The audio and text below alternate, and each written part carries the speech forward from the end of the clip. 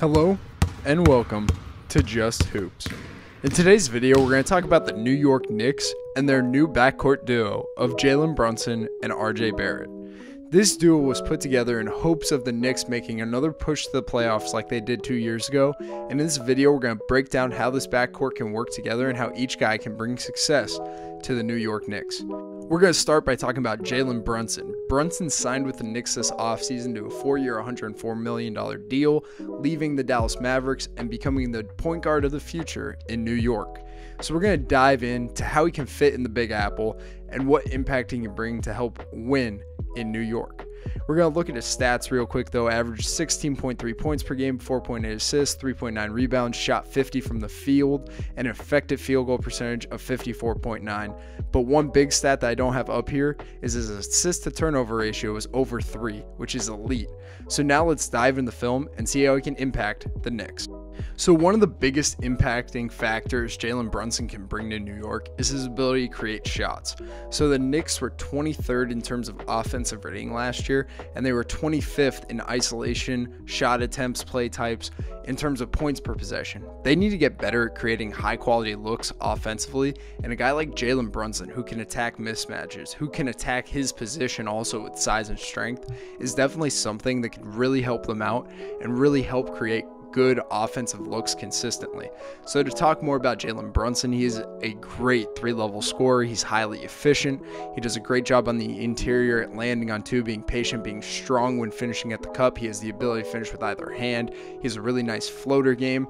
But the thing that really makes him special is that gray area, that mid range where he can land on two, pivot around, basically play out of the post in those spots, he does a great job at creating space with his body, being physical at his position, and just being very patient, being poised, being collected with the ball in his hands, and one last thing I want to talk about is his pull up jumper. He does a good job getting his feet under him, being set, elevating over the defense, getting great touch on the ball. All these things result in him being a high level scorer and just the guy when things get murky offensively to give the ball to, allow him to work in space, operate, make plays at all three levels, and just go out there and give you a chance to score any given time down the floor. As a playmaker, too, he can be huge in New York. His ability to just be smart with the ball in his hands, make smart, under control decisions consistently is huge in improving the offense. First, let's talk about the break, though. He's somebody that can push the pace, go either direction, and then also play at his pace which allows guys to free up around him. He did a good job at finding rim runs, finding guys on the perimeter, hitting the trail, just operating space, scanning the floor having his eyes up, just doing all these little things that allow him to see things develop around him, especially early in offense, and make these plays happen for his teammates. This, alongside a lot of these young, quick guys in New York, could be huge for New York in terms of producing more high quality looks in transition. Now, to talk about the half court a little bit, some things I really want to emphasize is his ability to make the simple play all the time, his pace and control in the half court in terms of making the offense roll, being that just stable presence on the floor to get the ball to allow him to play and make plays for his teammates. He's never rushed, really allows things to move and develop around him. He doesn't force plays to happen and he's just so elite at as a passer. Being able to pass with either hand, being able to attack and make defenses rotate is just huge and could really help New York out. Now to talk about what makes Jalen Brunson elite is his play in the pick and roll.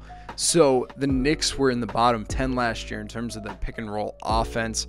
On synergy, if you want a statistical analysis of it, they averaged 0.94 points per possession in their pick and roll offense, including passes which is just not good enough to be successful. Jalen Brunson can definitely come in, give them a lead guard presence that can control in the half court, make smart decisions, and just be an all around guy that they could trust with the ball in his hands in these spots. These first clips, though, you can see his ability to score in these situations, pick up a switch, identify coverage, attack the hip, get downhill. And we already talked about his elite finishing ability.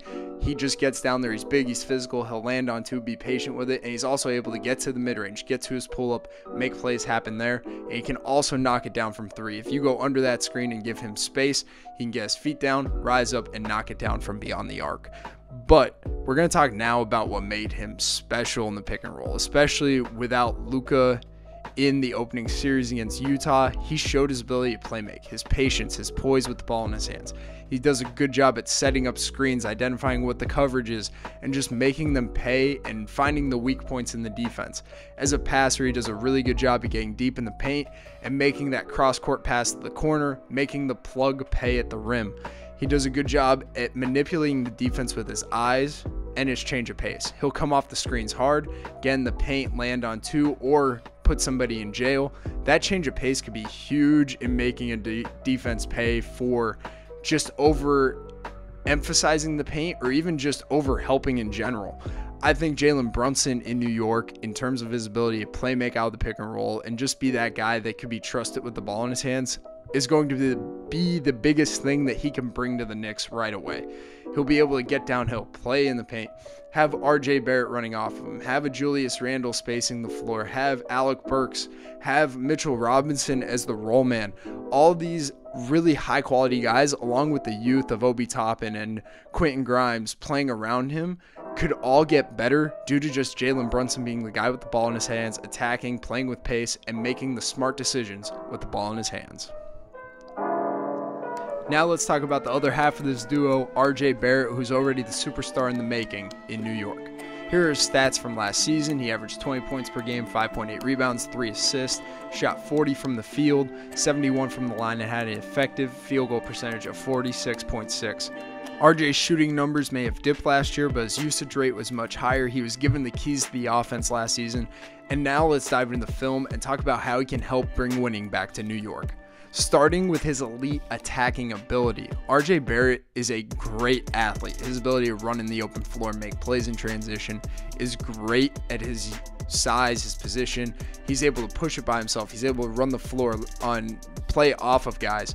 I think that as a transition player, the more he's able to get in the open floor, make these easy plays happen, it could definitely help the Knicks out at just getting more offense and having these easier looks more consistently. And it also gives them a second guy that they can trust alongside Jalen.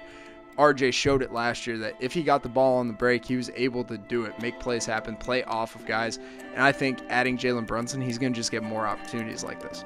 But to talk about the half court, RJ's a physical driver. He does a great job at using his body, using his size, using his strength, at getting downhill, bumping guys off. He's strong around the cup. He's an elite left hand attacker, but he also showed the ability last year to use his right. The more he's able to improve at going both directions and making plays happen, finishing with either hand, getting bumped with contact, and still finishing with his right and left, he will instantaneously put himself in a different spotlight, become more efficient from two point land, and just become a guy that you can't let go in the paint, have to send bodies, have to send help, and it'll just open up the offense more.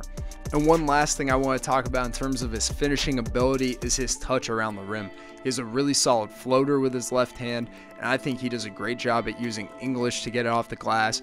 His finishing ability is one of the best for his age and his position. I think that the sky's the limit in terms of his ability to make plays deep in the paint. So the thing about RJ's game that I think can make him evolve into that star that can play both ends of the floor is his ability to guard one on one. He had a defensive field goal percentage of 44.5 and that's really good. He held guys to under 50% from the field. He did a good job at using his size, his length. He had tough matchups too. He had to guard Kevin Durant. He had to guard Jayson Tatum. He's not in an easy division in the NBA in terms of matchups on a nightly basis, and he took those challenges head on. I think he has so much more room to grow at this end, but some things that he has shown is his ability to be physical. He does a good job at using his chest, using his strength, and really warding guys out of the paint. Another thing is his hand activity. I think he can even be more active, but he's already really good at keeping his hands out and wide, contesting shots, being in the passing lanes, and doing things like that. And lastly, he shows good effort. Under Coach Thibs, he preaches defense, he preaches physicality, he preaches effort. I think RJ is bought in full heartedly, and he's going to continue to grow at this end of the floor due to the energy and effort he brings on a nightly basis as an individual defender and as a team defender. Now let's talk about the levels of growth in his game, starting with his spot up ability and ability to shoot from beyond the arc. Last season was a dip in his numbers. He did shoot a lot more tough ones off the bounce. He had defense more committed to him. But the previous season, he shot 40 40% from beyond the arc. And I think that he could do that again. And I think Jalen Brunson's going to be a huge part of him getting really quality looks from beyond the arc.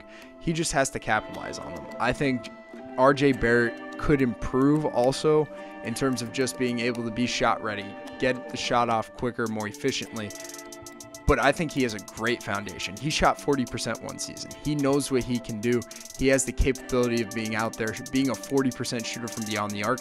If he's able to space the floor around Julius Randle and around Jalen Brunson, I think this offense could definitely explode and be one of the better ones in the league and definitely in the top half. So now for an even bigger one is his play in the pick and roll as a ball handler. I think first and foremost, his playmaking ability as a passer was seen to have slight improvements throughout last season. He showed patience and poise with the ball as the season continued to go. He showed an ability to get downhill, be quick, but also patient with it in terms of making the right decision.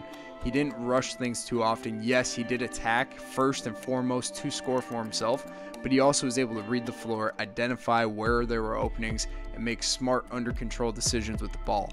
I think next year, being that secondary ball handler alongside Jalen Brunson, he's going to have to go out there, make these plays consistent, and he's also going to have another guy around him in which has to draw attention. It's going to be easier for him to get downhill and have scoring opportunities, but I'm also excited to see him as a passer. The more he grows in this area of his game, the more elite he's going to be, and definitely just cause more havoc as an all around offensive talent that can play make for his teammates and also create scoring opportunities for himself.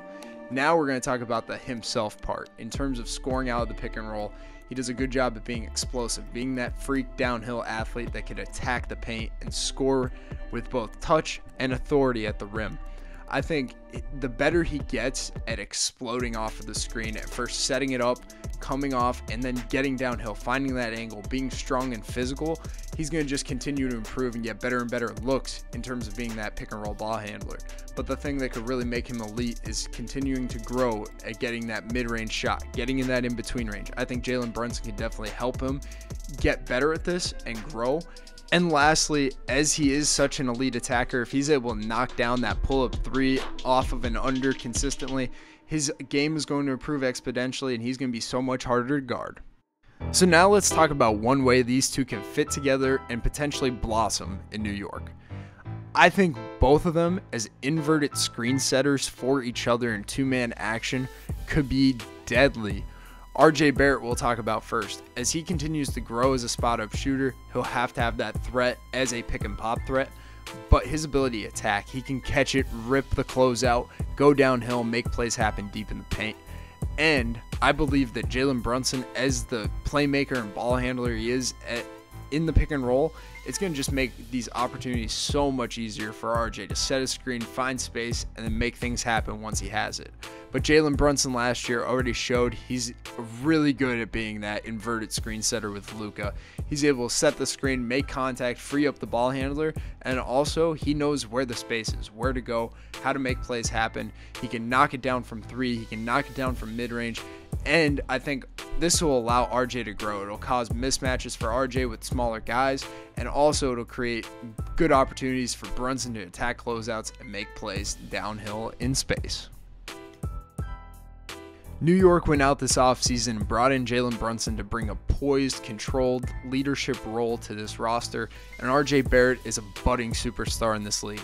These two guys together could potentially be huge and high level and produce a lot of wins in the future for New York. So I hope you guys enjoyed this video, learned something about both Jalen Brunson and RJ Barrett individually and how they can play together. For more content like this, please like, subscribe, and share, and we'll catch you in the next one.